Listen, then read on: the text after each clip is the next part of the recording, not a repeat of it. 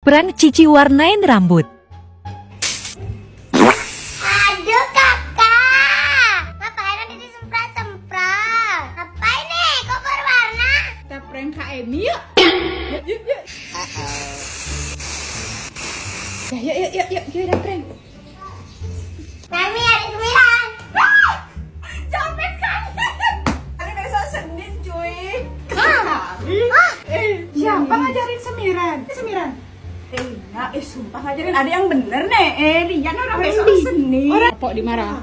Kau tak bilang sama ibu bener. Besok lu Senin siapa kelakuan anakmu? Lihat kelakuan anakmu. Tengnya no. Menjamin. eh, dimarah sama gurunya besok. ada loh. Langsung dikeramasin.